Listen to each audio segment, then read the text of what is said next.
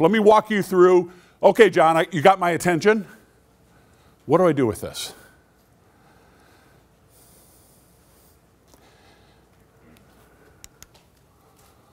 First, remember I told you at the beginning of our conversation, there's a decision you need to make about the future of your career and the future of your company. This is that decision. You need to make developing talent a business priority. Whether you call me or somebody else, doesn't matter. You need to make developing leaders a business priority, perhaps above everything else. You'd have a hard time arguing with me about what other line item in your budget is more important than developing your leadership talent. Number two, develop a master plan. I coach no companies unless they have a plan. So the very first thing we do is develop a plan for what are we going to do with your business in the next three to five years. Tell me the kind of lifestyle you want to have, because almost all of the clients we work with are either family owned businesses or entrepreneurs. Tell me the kind of lifestyle you want to have in five years, and I'll help you build a business that'll give it to you. And I've showed you the model that I use to do that. Number three, create a steering committee. Create some sort of a small group of really positive people. This all, now, I'm showing you what to do. I don't have time in 45 minutes to say, and here's how you do it. But you need to have a committee of people. Who's the president of a company in here? Somebody raise their hand. CEO? Yes, sir. What's your first name? Blair.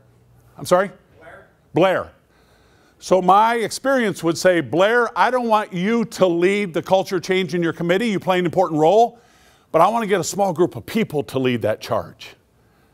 I want to create a SWAT team. I want to create a team of people that when they speak, and it could be a nurse on the floor on the afternoon shift, when these seven or eight people speak, people listen because they have respect in the organization and they always contribute at a high level. And they bring a great attitude to work every day. Some of you might have a hard time finding eight of those. You need to do an assessment of your management team.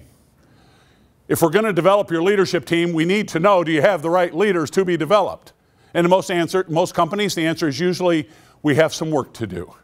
So if this were an assessment that we might use, and you create some acceptable ranges, the blue is here's what this job needs to be a top performer, and we assess people that are in the job against it, and then we plot the scores seven, if the range is five to eight, that's a great score. This person overall scored a 94% match.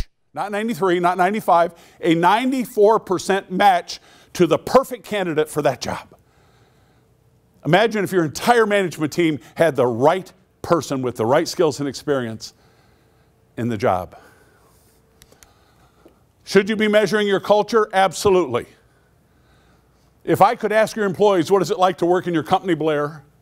It'd be valuable to know. Here's a report. Blair, I'm picking on you because now I know your name.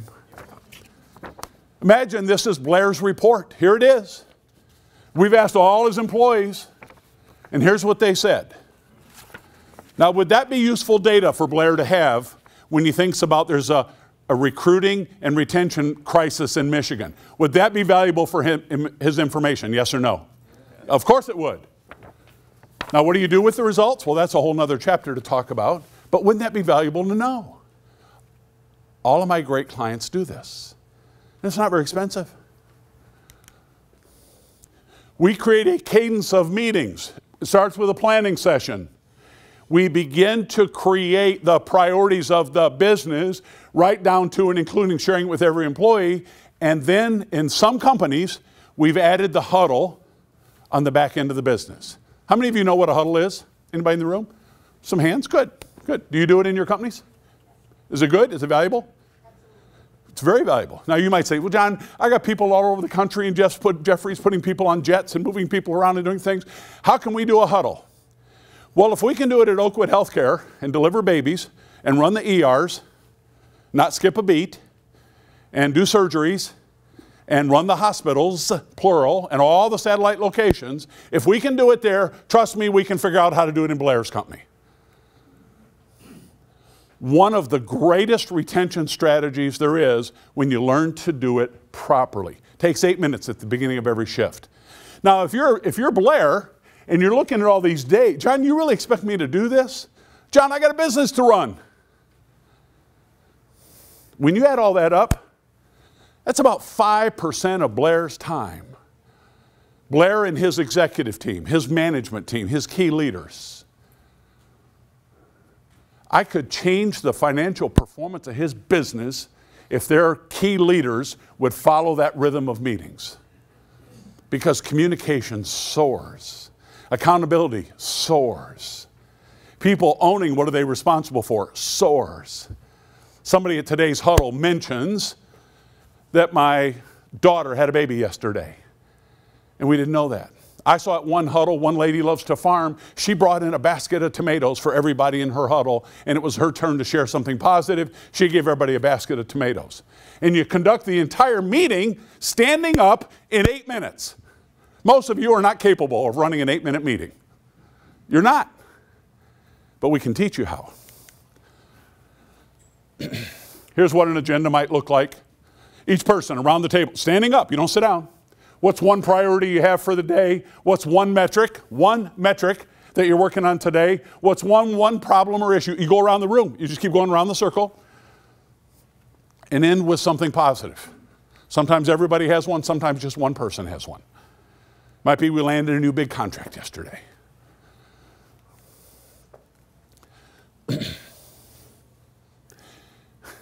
Most companies I go in, this is being filmed, so I have to be careful. Most companies I go into do not have a good accountability system. In fact, most of them, it's a joke. It's an HR task where once a year I got to fill out some forms. But I'm, what a great tool to have. Sir, what was your name again that's getting the free book? Sean. Sean. At the beginning of the year, Sean, how many people in your company approximately, full time, part time? Uh, about 80. 80. Wouldn't it be cool if all 80 employees after the company has set the business priorities for the year, that all 80 employees, one at a time, get to know what's expected of them.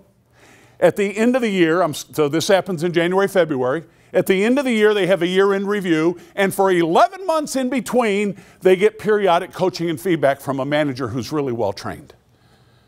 Do you think that would help your retention for every employee to know what's expected of them, get, to get a good, fair, honest review at the end of the year, and get great feedback throughout the year. These are just examples of tools that we use to give people, give leaders feedback on their performance. 360 works sometimes, the employee engagement survey that I just held up the report, that's a form of feedback. In some organizations, we create a scorecard based on some important key performance indicators for managers. Here's a slide I want you to remember. I'm going to slow down for a second, only for a second. Your nine talent management systems can reinvent your company. So I want you to think about the word process and system. How does your company currently do recruiting? What's your recruiting system? What is your hiring and selection system? What is your onboarding system? How do you train and develop people once you have them? What is your accountability system?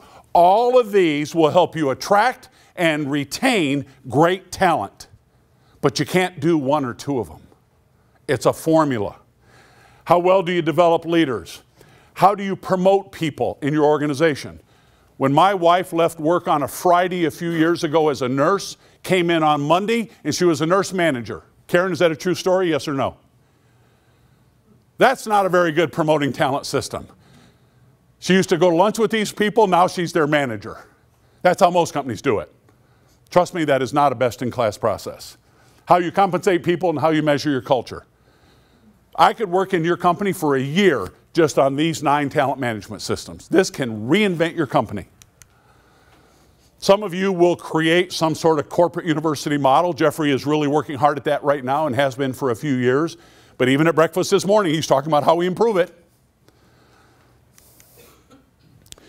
Uh, here's a book you need to read. So, Jeffrey, I'm going as fast as I can.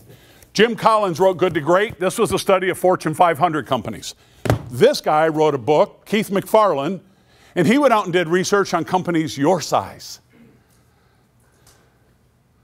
What were the great ones doing? He studied the 5,000 fastest growing companies in America and wrote a book about what are they doing, but they were all small to medium sized companies. One of the findings in the book is people like you used outside experts better than their competition and outperformed them in profit by three to one over a 10 year period. Is profit an important word, yes or no? Absolutely. You ought to read this book, The Breakthrough Company by Keith McFarland. Go ahead and read it, even though the colors look like Ohio State. Here's the accountability system. If you ask Jack Welch, if you study his stock prices over a 20 year period of him being CEO, he said, if I can only measure three things, one of them is profit, one of them is employee engagement, employee satisfaction. This is the process that I use to coach all my clients around how to put a better accountability system in your organization. Live the values, deliver the results, and that development should not be optional in your company. That's a really simplified version of the accountability system we use.